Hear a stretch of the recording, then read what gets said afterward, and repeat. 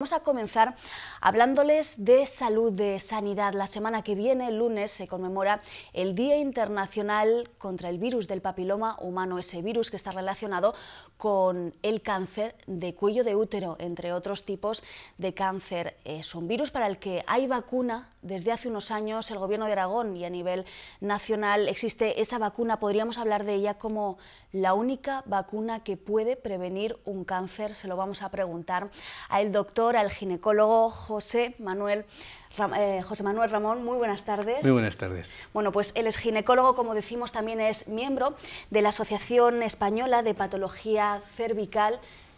la vacuna del papiloma humano es la única vacuna contra un cáncer que hemos llegado a tener. Eh, hay otra que es la, es la vacuna contra el virus de la hepatitis B que también si, la hepatitis, hay una hepatitis B puede producir un hepatocarcinoma y también espero fundamentalmente son estas dos. De todas formas, estamos hablando de una vacuna para un cáncer, algo que se me antoja un avance de la ciencia importantísimo. Es importante porque el, virus de papiloma humano es un agente infeccioso y las vacunas lo que hacen es combatir, decir, prevenir agentes infecciosos como el virus del papiloma humano. ¿Qué es el virus del papiloma humano, VPH? Pues es un virus antiquísimo, antiquísimo. Está en tiempo de los neordeantales, ¿de acuerdo? Es pequeñito, es una doble hélice icosaédrica, muy pequeñito, que está directamente relacionado con la actividad sexual, que esto lo hablaremos, y entonces que tiene una prevalencia muy importante. Estamos hablando que en España tenemos dos millones de mujeres con el virus del papiloma humano en su interior, y que para que tienen la prevalencia es importante en mujeres y en hombres, ¿de acuerdo? Eh, en mujeres tiene una prevalencia aproximadamente del 14% en general, aquí lo tenemos aquí en Huesca, sí, ese 14%, pero los estudios en hombres son también muy importantes. Estamos hablando de un estudio que se llama el estudio Najanes, en el cual están hablando de una prevalencia del 45% de en hombres. Es, afecta más a los hombres, pero los hombres no lo desarrollan o no desarrollan eh, una posible consecuencia como es el cáncer? El, virus del papiloma humano, fundamentalmente hasta ahora, hasta ahora está relacionado con la mujer, con la patología de la mujer, cáncer de cuello, cáncer de vulva, cáncer de vagina, cáncer de ano, pero ahora estamos empezando a cada vez saber más de los cánceres en varones. Y entonces tenemos cáncer de ano, eh, cáncer de pene, y hay un cáncer que está tremendamente creciendo por momentos, sobre todo en países desarrollados, que es el cáncer de orofaringe, cáncer de base de la lengua y de la amígdala. ¿Por qué? Porque tienen la misma anatomía, la base de la lengua y la amígdala, que hay una zona de transformación en el cuello y otra zona de transformación en el ano. Es lo mismo. Son, son muy susceptibles a que este virus pueda producir una transformación, eh, vamos a decir, cancerosa para luchar contra estas consecuencias. Hace unos años a nivel nacional eh, se estableció eh, pues comenzar con un programa, comenzar con la vacunación. ¿Cómo está este...? Bueno, pues la verdad que está muy bien. Llevamos 12 años vacunando, 12 años vacunando. Eh, hay una, a nivel nacional, a nivel nacional tenemos una cobertura de por encima del 70%, pero varía mucho por comunidades autónomas. ¿no? Aquí estamos muy bien, en el 85, 86, pero hay comunidades, como por ejemplo, como puede ser Andalucía, que están en el 55%. Y porque más que bajamos a Andalucía a hablar y tal, pues no remonta ahí. O sea, es decir, entonces, durante estos, estos 12 años, ¿qué hemos aprendido? Hemos aprendido que las vacunas son muy seguras, muy eficaces eh, y muy eficientes. Esto es una palabra, y, y sobre todo tienen la duda que podía ser, bueno, estas vacunas a ver a largo plazo, ¿qué es lo que pasa? ¿no? Pues a largo plazo estamos hablando que ahora que todos los estudios de niñas vacunadas antes de lo que se llama NIFE, antes de estar en contacto con el virus, estábamos hablando que prácticamente tiene una protección del 100%, estamos hablando de 14 años. Lo que pasa es que esto llevamos este año, y cada vez, o sea, las vacunas casi siempre nos están dando noticias positivas. ¿No? noticias positivas de, que están funcionando, porque fundamentalmente, parece una perogrullo, pero están muy bien hechas. Y entonces tienen la capacidad de estimular la inmunidad para que tengan la eficacia, la seguridad, los long follow-up, que son todos los estudios a largo plazo, y una cosa muy importante que se llama la efectividad, aunque sea un término médico. O sea, ¿la efectividad qué es? Pues la eficacia no son los estudios, sino el mundo real. Y ahora estamos viendo que lo primero que estamos ya, ya hemos demostrado la disminución de los tipos vacunales, estamos ya viendo la disminución de los condilomas acuminados, que también están producidos por la vacuna, estamos viendo de las anomalías citológicas, y ahora ya hay una cosa que creíamos que iba a tardar mucho tiempo, ¿entiendes? Pero ya hay un estudio finlandés en que ya está viendo, ya hay una disminución de cáncer. Y fíjate lo importante, los australianos son los que mejores hacen estos en el mundo mundial, ¿no? Y hay un estudio publicado recientemente que ellos dicen que si hacemos las cosas bien y mantenemos una cobertura amplia, y luego hablaremos un poquito del cribado, ellos dicen que en los próximos 20 años pueden acabar con el cáncer de cuello. O sea, eso es, o sea, dejando de ser un problema público de salud. O sea, ya estamos viendo que estamos en el buen camino. Esto con el programa eh, de vacunación que paga la sanidad pública, pero también cualquier persona puede eh, pedir esa vacuna aunque la pague de su bolsillo. ¿Con qué beneficios? Sí, sí, sí, ya verás. Mira, ahora lo que, lo que estamos es lo siguiente. Primero, que todas las niñas de 12 años se vacunen. Vamos a ampliar a que puede ser el 100%, ¿de acuerdo?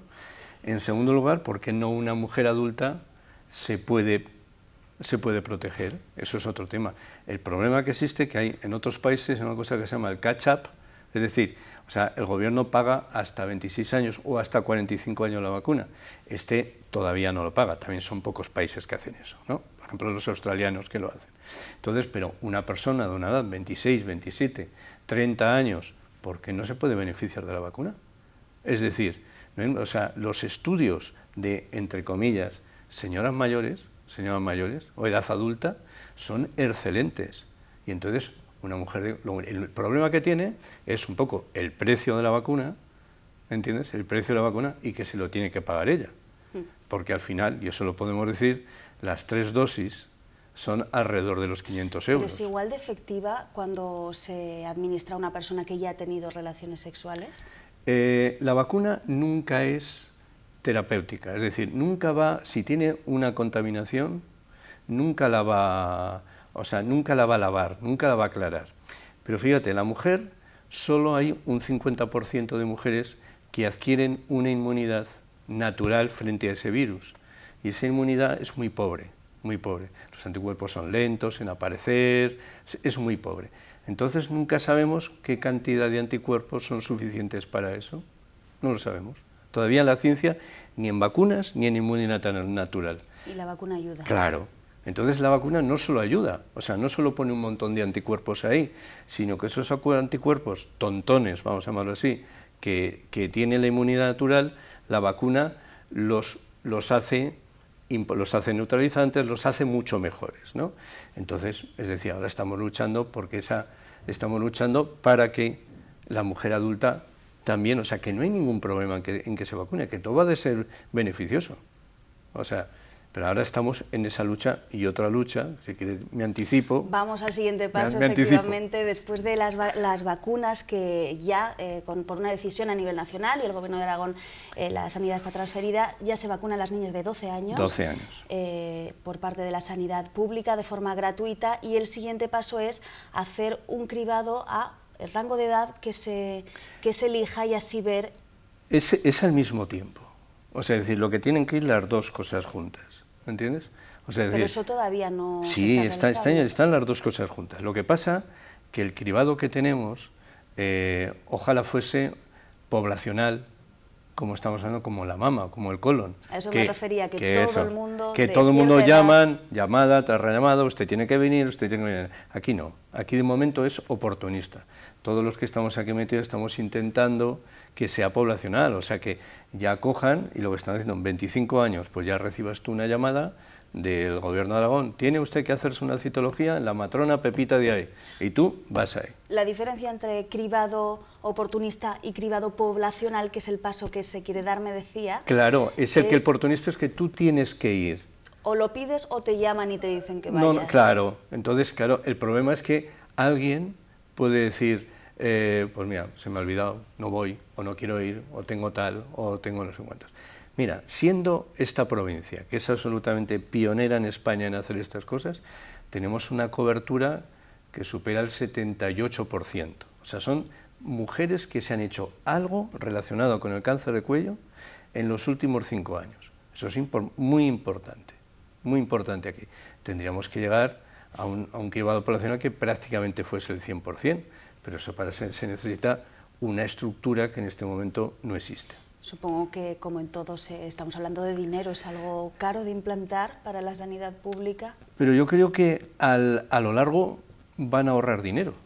Es decir, fíjate, si ahora estamos haciendo, y volvemos ahí, una prueba a partir de los 30 años, como el test es el test de VPH, que es el que nos va a decir, señora, usted tiene un riesgo, mínimo riesgo, pero usted tiene que tener cuidado, o luego las derivaciones de atención primaria. Si es negativo, en cinco años no tiene que ir. Se olvida, o sea, ese incremento que puede ser. Y luego también yo creo que cualquier gobierno puede eh, apoyarse en los programas que ya existen poblacionales, como es la mama, como es el colon.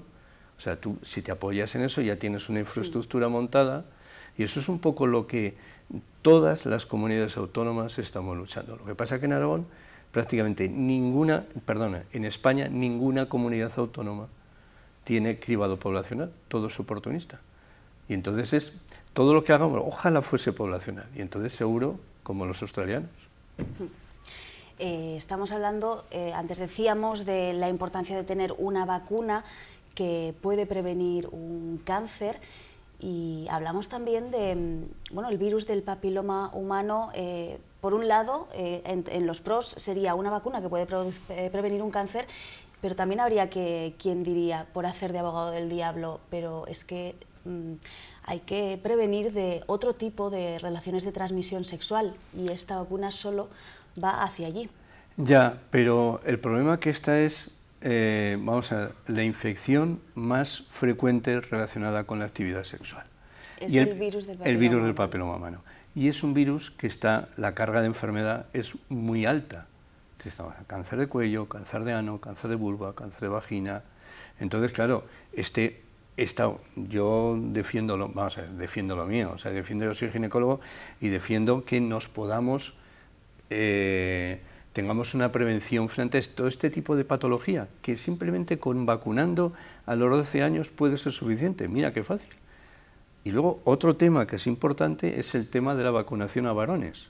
O sea, este año la Asociación Española de Pediatría en el calendario vacunal 19 de momento pone niñas 12 años, dos dosis, pero hace una recomendación y dice, señores, eh, hacemos una recomendación para que se vacunen los niños de 12 años igual. ¿Qué pasará con eso? ¿Por qué no protegemos a los hombres de toda esta carga de enfermedad? ¿Por qué no protegemos a los homosexuales que tienen una prevalencia tremenda del VPH y tremendo de cáncer de ano? ¿Por qué no disminuimos la transmisibilidad del virus? Porque vamos a recordar, el virus del papiloma humano puede provocar, no sé si es lo más común, el cáncer de cuello de útero, pero también otros cánceres que estos sí afectarían a los hombres como... Como el cáncer de ano, el cáncer de pene y el cáncer de orofaringe. Y luego también provocan otras cosas que no son cancerosas, como los condilomas acuminados, o sea, las verrugas genitales que son muy difíciles de sacárselas de encima, y también hay una cosa, una patología de, la laringe que es la papilomatosis recurrente laringea. O sea que esto es un problema de niños que nacen con asfixia, con tal, con todas estas cosas, y entonces con esto se puede prevenir.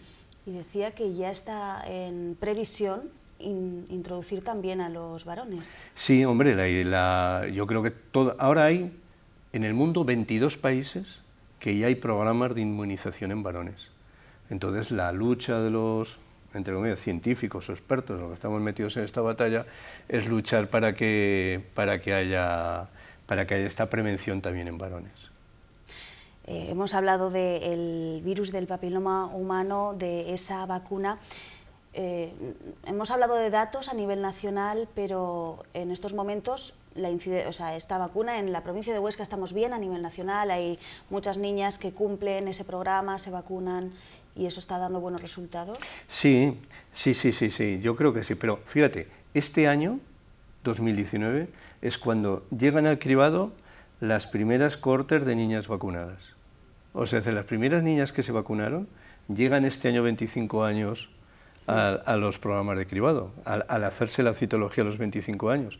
Entonces, en este año veremos la efectividad, veremos la cantidad de anomalías citológicas que no van a existir, porque ya el tipo vacunal más importante, que son el 16-18, no lo tienen. Claro, entonces este año vamos a empezar a ver datos, ¿no? Y ahora disponemos de una gran vacuna que es la nonavalente, o sea que tiene nueve virus. Y esos nueve virus previenen del 90% de los cánceres de cuello, cáncer de ano, cáncer de vulva, cáncer de vagina, cáncer orofaringe, son el 90%.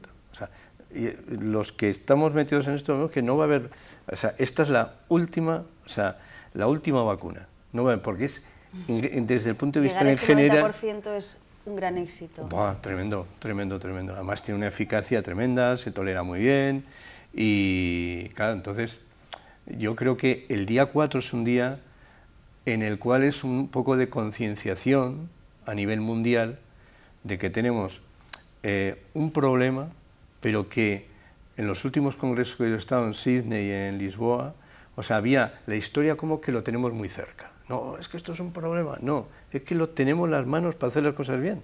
Y lo tenemos ahí, yo creo que está cerquita, cerquita de que podamos hacer, haciendo las cosas bien, que en un futuro, dentro de 20, 30 años, pues acá, ya hemos acabado con esto.